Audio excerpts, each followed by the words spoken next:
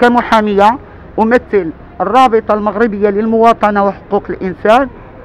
آه، اليوم تقدم تم تقديم آه، المتهم آه، والمت والآخرون أي أربعة أشخاص.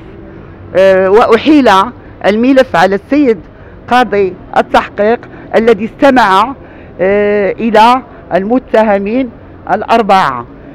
بالنسبة لأب الضحية حضر واستمع إليه السيد قاضي التحقيق إلا أن الاستماع التفصيلي تم تأجيله إلى حين إخبارنا من طرف السيد قاضي التحقيق. لا بالنسبة لي عاينته طويل القامة آه، يتكلم عادي وضعه عادي. يدرك ما يفعل آه عاقلا مميزا. آه، آه، لا تبدو عليه أي علامة اضطراب. هذا أنا أظن أنه دعب على اغتصاب الأطفال. إلا أن عدنان قاوم إلى آخره هنا كانت كان القتل.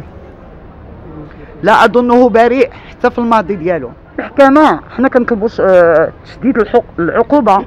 ومادام أن الإعدام منصوص عليه في الفصول المحكمة غتاخذ آه، الحكم ديالها والاقتناع ديالها على حساب عدنان راه الفصل المنصوص عليه الإعدام. لا داعي أننا عاد نطالبوا وراه كاين في الفصول. نظر آه، كنت أنادي بالإلغاء ولكن نظرت نظرا لجزانه. بشاعة الفعل.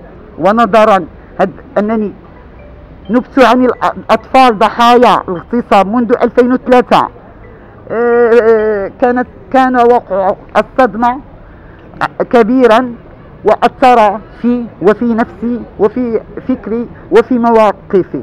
أنا كنقول بالنسبة لحال هذه الأعمال الإجرامية التي تقترف ضد هؤلاء الأبرياء الأطفال يستحقون الإعدام.